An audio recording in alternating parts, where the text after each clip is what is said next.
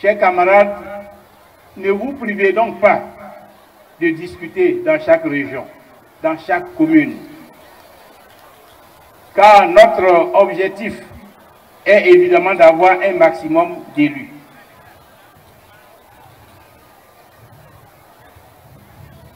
Et vous savez bien que l'élection de cette année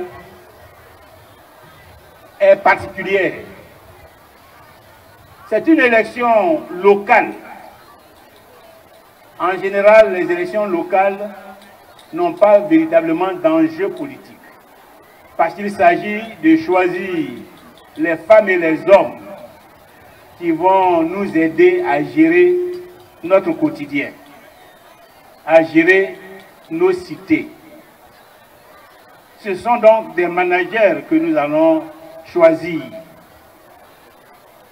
Ils sont certes présentés par des partis politiques, mais ce que nous allons vérifier particulièrement, c'est leur capacité à résoudre nos problèmes quotidiens.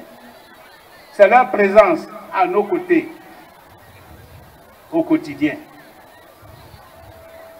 En Afrique comme ailleurs dans le monde, l'enjeu politique est de faible dimension. Mais chez nous en Côte d'Ivoire, et en cette année 2023, les élections des conseils régionaux et des conseils municipaux en Côte d'Ivoire vont avoir une dimension éminemment politique, dans la mesure où ces élections vont mettre face à face les deux camps que j'évoquais tout à l'heure.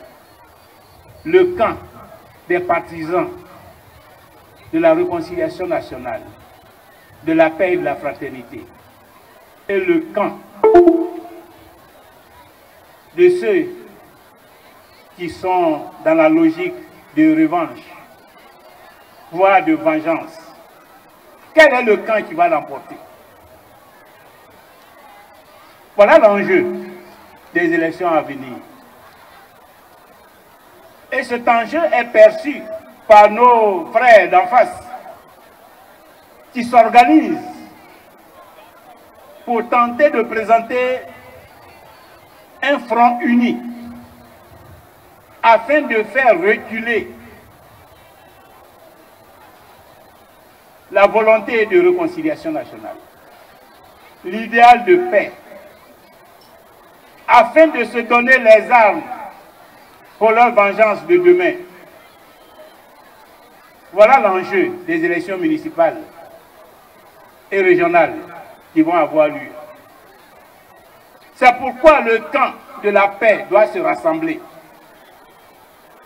Se rassembler au sein de chaque parti politique, puis se rassembler dans le cadre de ce partenariat. Se rassembler dans le, dans le cadre de chaque parti politique signifie que tous les cadres, tous les militants de nos partis respectifs doivent savoir mettre au-dessus de tout l'intérêt national. Doivent savoir dominer leurs ambitions personnelles pour soutenir les candidats qui seront présentés par leur parti politique.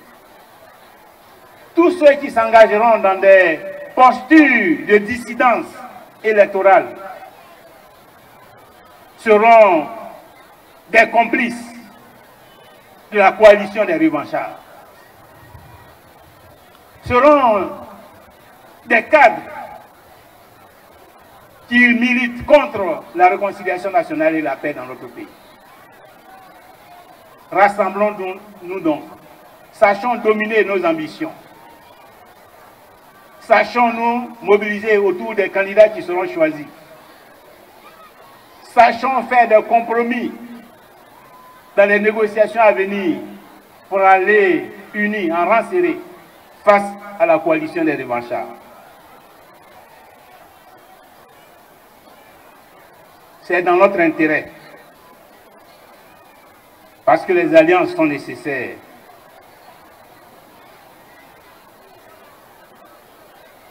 Et comme vous le savez, en politique, une alliance peut faire basculer une élection. Nous avons placé notre fête de cette année sous le signe de la mobilisation parce que justement, nous voulons, à travers les élections à venir, faire la démonstration que le Front populaire ivoirien est là, debout, fort, qu'il est sorti de sa convalescence. La Côte d'Ivoire a besoin d'un Front populaire ivoirien encore plus fort. Mais il ne suffit pas de le proclamer. Il s'agit désormais de le démontrer. Nous le démontrons aujourd'hui à travers notre présence. Nous savons que sur le terrain des moyens, la bataille n'est pas à armes égales. Mais là encore, nous ne devons pas faire preuve de complexe. Parce que à la logique des moyens, nous pouvons opposer la logique des convictions.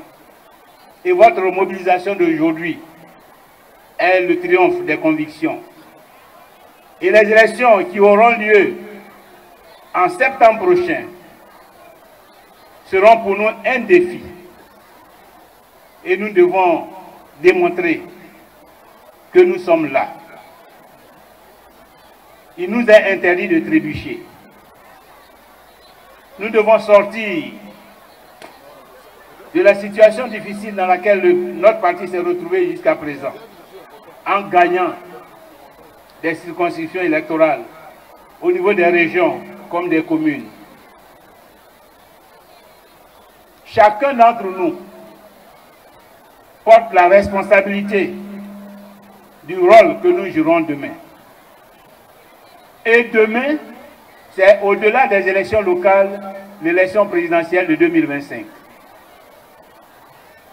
Pour cette élection, je dois dire que l'alliance que nous venons de conclure sera notre principal instrument pour que le futur président de la République de Côte d'Ivoire, celui que les Ivoiriens vont choisir en octobre 2025, sorte du partenariat entre le Front populaire ivoirien et le Rassemblement des, des pour la démocratie et de la paix. C'est une assurance. Chers camarades, pour terminer, je voudrais encore une fois vous remercier pour votre mobilisation et vous demander de vous mobiliser, de continuer de vous mobiliser pour nous accompagner vers la victoire en 2025. Aujourd'hui, nous sommes 30 000, plus de 30 000 militants, combattants présents ici à Mans. Des combattants pacifiques et déterminés. Des combattants résolus de la liberté. Des combattants pour lesquels la victoire le 2 septembre n'est pas une option. Des combattants pleinement mobilisés pour le parti, au-delà de leur personne. Et pour relever ce défi de la victoire en 2023 et du triomphe en 2025, je sais pouvoir compter sur vous. Et vous savez que vous pouvez compter sur moi. C'est donc sur ces mots, chers camarades, que je voudrais vous dire infiniment merci encore une fois de votre présence, de votre mobilisation. Que je voudrais saluer tous nos camarades qui sont venus de toutes les régions de Côte d'Ivoire. Leur souhaiter bon retour dans vos familles respectives. Leur, vous souhaiter davantage d'engagement pour les élections municipales et régionales à venir, parce que la Côte d'Ivoire nous attend. La Côte d'Ivoire compte sur nous et je sais qu'elle peut compter sur vous. C'est donc sur ces mots que je vous dis encore une fois merci. Vive le Front populaire ivoirien, vive le rassemblement des Zoufouetis pour la démocratie et la paix, vive la Côte d'Ivoire, je vous remercie.